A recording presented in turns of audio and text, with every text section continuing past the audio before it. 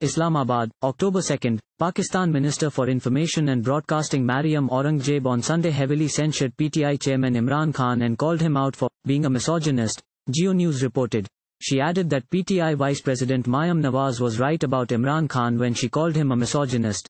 Her tweet came in response to a highly derogatory doctored image depicting Maryam and Khan, that PTI leader and former Human Rights Minister Shireen Mazari tweeted, it's unfortunate that we have to even mention this sorry excuse for a human being who continues to stoop to new lows of misogyny, she said. Geo News reported. Imran Khan has proven, time and again, that he is a misogynist who has no respect for women and that he considers them to be nothing more than objects to be abused and harassed, she wrote.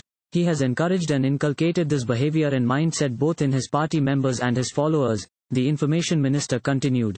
It is especially disappointing and sad to see female party members and followers of PTI not only condoning such behavior but partaking in it and celebrating it too. This is extremely shameful and is a true reflection of how small a manic really is.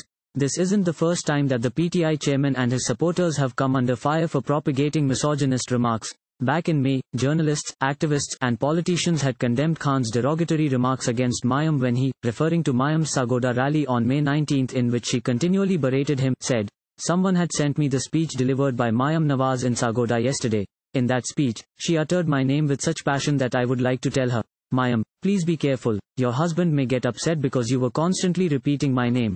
Geo News reported. Thank you for watching. Please subscribe to channel and click on bell for more daily videos.